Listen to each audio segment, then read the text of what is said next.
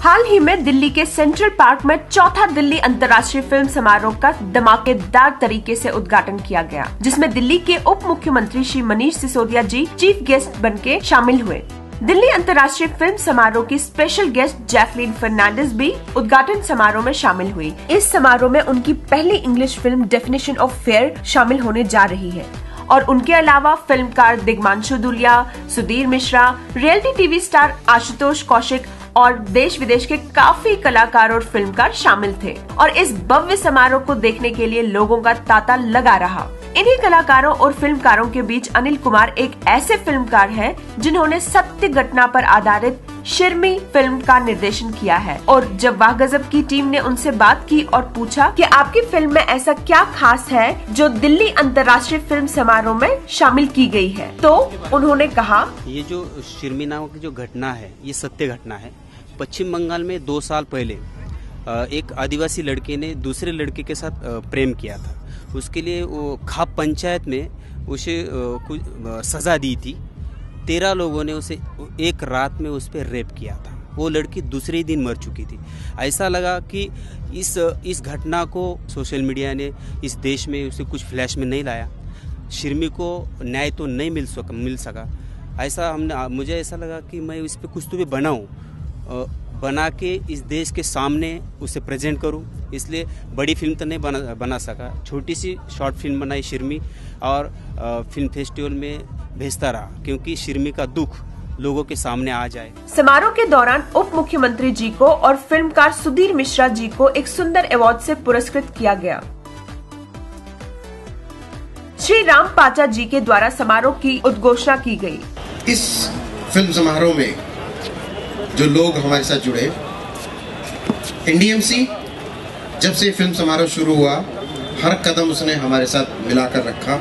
मैं उत्तर प्रदेश सरकार श्री अखिलेश यादव जी जो मुख्यमंत्री हैं उनका उनके साथ जो उनकी टीम है जो मेरे साथ बैठी हुई है या मेरे सामने बैठी हुई है देशबंधु के सदस्य सभी का बहुत शुक्रिया अदा करता हूँ और उम्मीद करता हूँ कि इस साल जो फ़िल्में हम दिखाएँ इस साल जो हम काम करें 219 फ़िल्में हम 69 कंट्रीज़ की दिखा रहे हैं। सबसे ज़्यादा इस बार हमारे इस फेस्टिवल में डेलीगेट शामिल हुए हैं, करीब 150 इसराइल इस फेस्टिवल का कंट्री पार्टनर है।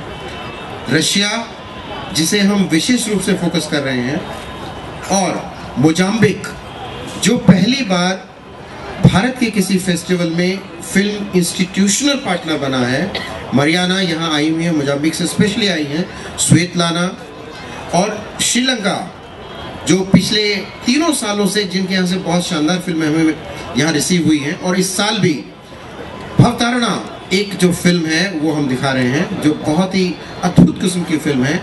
और जैकलिन फर्नांडिस, जिनकी पहली फ़िल्म से ये फेस्टिवल ओपन हो रहा है, जिसे आप अभी देखेंगे यहाँ, रशिया की स्वेतलाना एक ऐसी फ़िल्म मेकर है जिन्होंने राज कपूर साहब पर फ़िल्म बनाई है।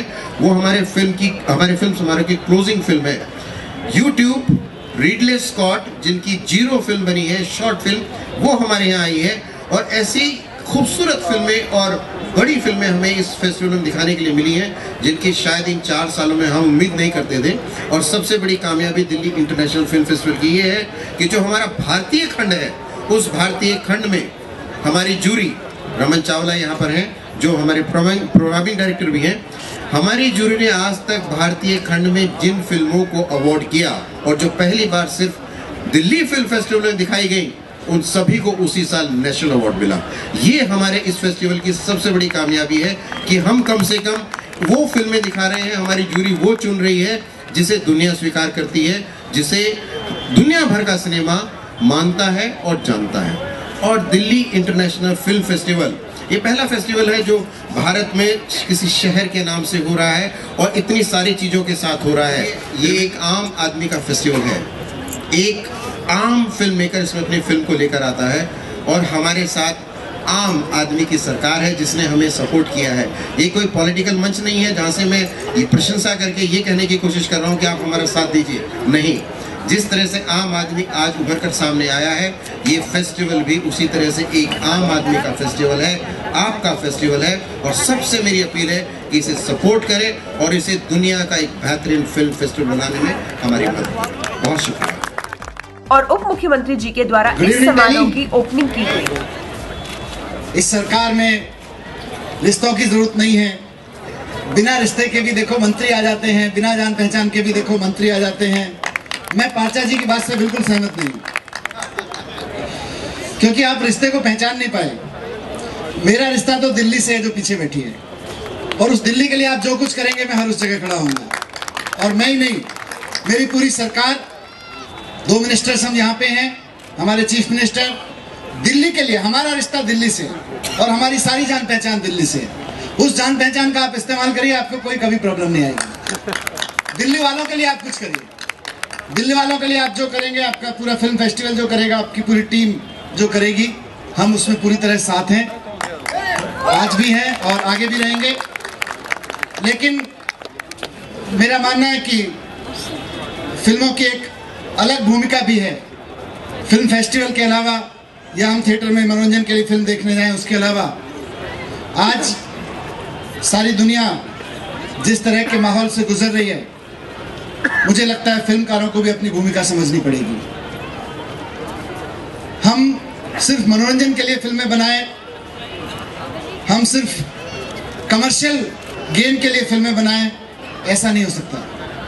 आज पेरिस से लेके दुनिया के हर कोने से धमाकों की आवाज़ें सुनाई दे रही हैं।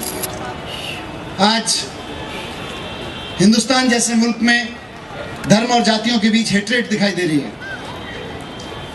दुनिया में जो कुछ हो रहा है, उसको रोकने के लिए बहुत स्ट्रांग वर्ड्स में मैसेज देने की ज़िम्मेदारी फिल्मकारों की भी है आर्टिस्ट की भी है।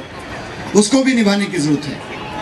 और ऐसी फ़िल्मों को, जो समाज को बदलने में, समाज के अंदर जो अगर कहीं बुराइयाँ बढ़ रही हैं तो उन बुराइयों को रोकने में अपनी भूमिका निभाएँ।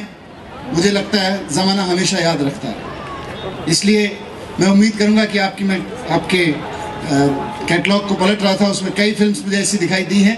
इसके लिए आप बहुत बहुत बधाई के पात्र हैं। और एक बार फिर से मैं आपका बहुत शुक्रिया अदा करता हूँ कि आपने मुझे यहाँ इस फ़िल्म फेस्टिवल का उद्घाटन करने के लिए बुलाया। आप आगे भी जो कार्यक्रम दिल्ली के लिए करेंगे we are already with you thank you very much thank you I officially open the fourth Delhi film festival here bye thank you very much मुख्यमंत्री जी के भाषण के दौरान जब एक्टर जैकलिन फर्नांडिस की एंट्री हुई तो लोगों ने उन्हें चारों ओर से घेर लिया और सभी उनकी फ़ोटोज़ खींचने लगे। लेकिन काफ़ी कोशिशों के बाद जब लोगों को हटाया गया, तब जैकलिन ने अपने कुछ शब्द जनता के साथ शेयर किए।